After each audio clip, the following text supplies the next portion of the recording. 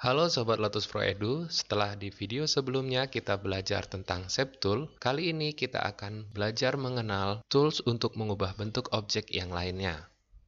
Jika Shape Tool mengubah bentuk objek dengan cara mengubah bentuk kurva atau garis pembentuk objek itu secara manual, tools-tools yang akan kita pelajari berikut ini berdampak secara area, juga memberikan efek-efek unik yang berbeda pada objek. Pertama, kita akan mengenal Rogen dan Smooth. Kita bisa mengakses tools Rogen. Lalu jika teman-teman perhatikan, sementara ini ukuran nips kita masih berukuran 1 mm. Kita bisa mengubah ukuran nips dengan mengubah nilai yang ada pada isian di atas ini. Misalkan saya masukkan 30 mm maka tampak pada layar ukuran lips kita sudah berubah. Kemudian, efek Rogen akan saya terapkan pada objek berikut ini. Klik objeknya, lalu klik dan drag sepanjang sisi atas objek. Maka, objek yang tadinya smooth telah berubah menjadi rogue. Tool selanjutnya merupakan kebalikan dari Rogen, yaitu tool smooth kita bisa akses dengan klik tahan lama di sini, kemudian kita pilih smooth. Untuk mengubah ukuran nips, selain dengan memasukkan langsung nilai pada isian di atas ini, kita juga bisa melakukannya dengan menekan shift pada keyboard, kemudian klik dan drag mouse kita sampai ukuran mouse sebesar yang kita inginkan.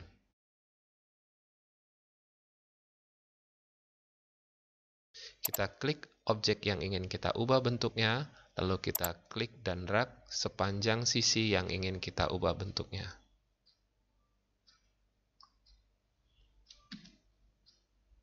Bisa kalian perhatikan,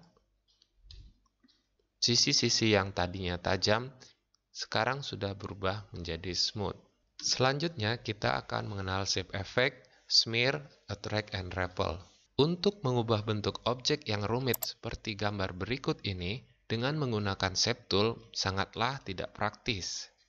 Tapi jangan khawatir, kita bisa melakukannya dengan smear, attract, dan repel. Misalnya dengan smear kita bisa mengubah bentuk mata dari tengkorak ini.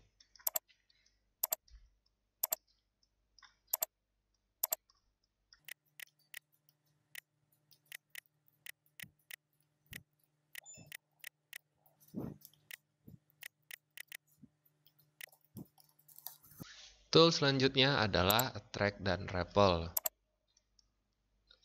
Tool attract akan menarik titik-titik kurva menuju ke tengah kursor kita. Sehingga jika kita terapkan pada mata ini, maka matanya akan mengecil. Sebaliknya, tool repel akan mendorong titik-titik kurva pembentuk objek keluar atau menjauhi kursor kita. Sehingga dampaknya akan memperbesar ukuran mata dari tengkorak ini. Tool selanjutnya adalah twirl.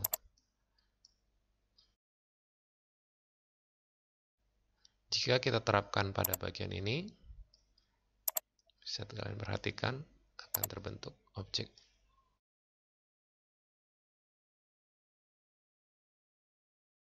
Atau bisa kita ubah juga arah putarnya